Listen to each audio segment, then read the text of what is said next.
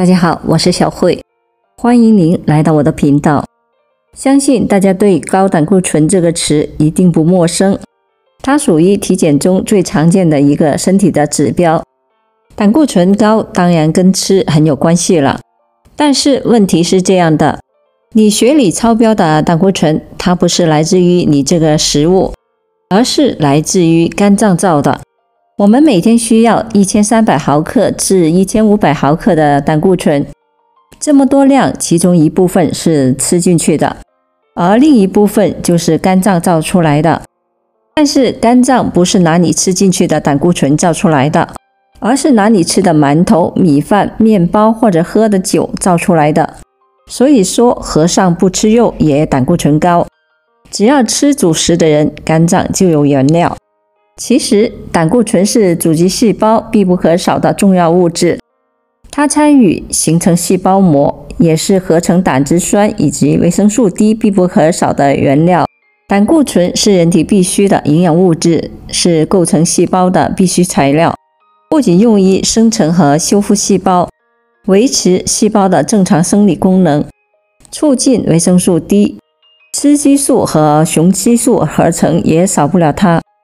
胆固醇过低容易引起营养不良、思维能力下降，血管在没有胆固醇的保护下也会变得脆弱、易破裂。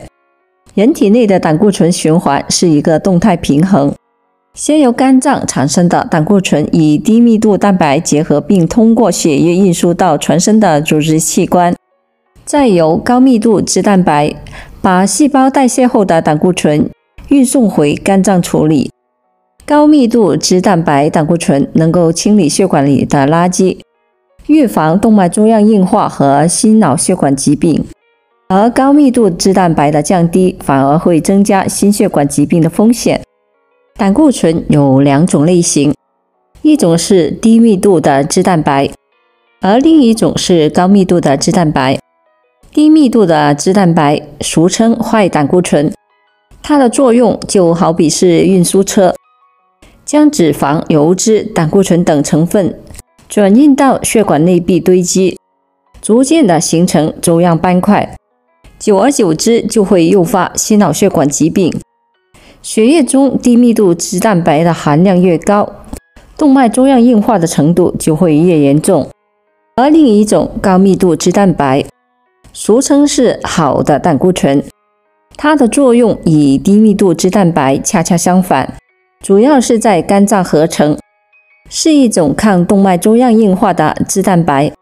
它可以将血液中的脂肪、油脂、胆固醇等成分转运到肝脏，再进行储存、代谢，并由胆汁排出体外，从而减轻动脉粥样硬化。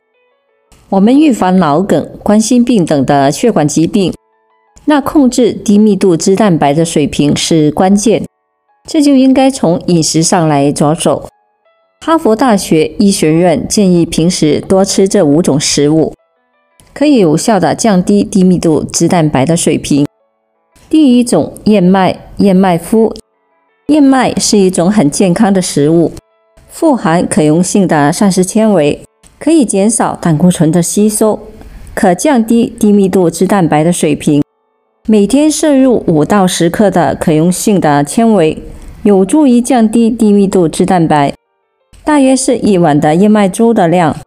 要提醒大家的是，燕麦中含有一种贝塔葡聚糖的纤维成分，其主要降胆固醇的作用。燕麦粥越稠，贝塔的葡聚糖释放的就会更多，所以燕麦粥越稠越好。燕麦和燕麦麸建议选择原味无添加的为好。去超市购买的时候，请仔细的阅读标签。第二，鱼类。吃富含欧米伽三脂肪酸的食物，对降低低密度脂蛋白有很大的帮助。欧米伽三脂肪酸主要来源于深海鱼，因为深海鱼欧米伽三脂肪酸含量比淡水鱼要高得多，对心脏和大脑都具有保护的作用。这些鱼包括金枪鱼、沙丁鱼、三文鱼、带鱼或者是深海鱼鱼油，以清蒸、熬鱼汤为主。少吃炸鱼、烤鱼。第三种橄榄油，橄榄油富含抗氧化剂，有助于降低低密度脂蛋白的水平。然而，这些抗氧化剂并不会减少或者清除体内的好的胆固醇，也就是高密度脂蛋白的水平。在选择橄榄油的时候，我们要选择特级的初榨油，没有经过精炼或者深度加工，它含有更多的抗氧化剂。第四，坚果类的食物，坚果包括有核桃、杏仁、松子、腰果、开心果等。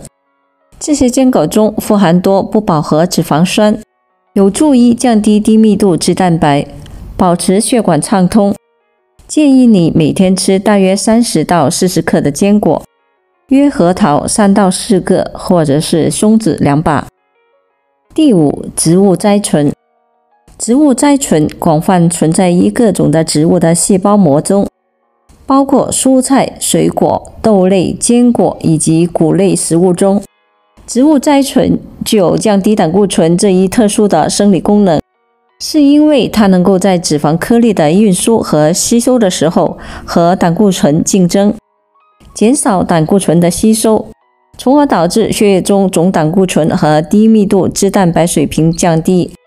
要降低血脂，平时要避免这两类的食物：一、垃圾食品，俗称垃圾食品，主要指快餐类的食物。这些食物含有很多的反式脂肪、饱和脂肪，包括有汉堡包、炸薯条、炸鸡块、奶油蛋糕、夹心饼干、奶茶、爆米花等。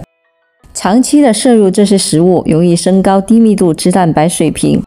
促进动脉粥样硬化，从而诱发血管疾病。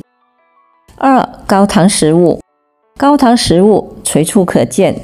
过量的摄入甜食，尤其是添加了白糖、红糖，不仅会造成肥胖，也会造成大量的糖转化成脂肪，升高低密度脂蛋白的水平。高脂血症是导致动脉粥样硬化最主要的罪魁祸首。我们平时应该适量的多吃文中的五类食物：燕麦、深海鱼、坚果、橄榄油、植物甾醇，也要少吃垃圾食品以及高糖类的食品。坚持运动，保持体质指数。运动是最好的降脂方法之一，可以增强机体的代谢，提高体内的某些酶，尤其是脂蛋白脂酶的活性。有利于甘油三酯和胆固醇的运输和分解，从而达到降血脂的目的。此外，运动还能促进血液循环，减少脂质物在血管内的沉积。另外，减肥控制体重有利于降低甘油三酯和胆固醇。减肥有效的控制体重是消灭心血管疾病的最好方式之一。肥胖容易导致甘油三酯和胆固醇偏高。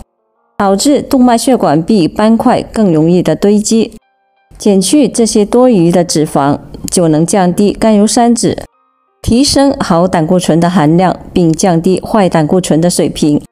如果您觉得我的视频对您有所帮助，请你点赞收藏。您也可以订阅我的频道，更多的养生知识与您分享。谢谢您的支持，我们下期见。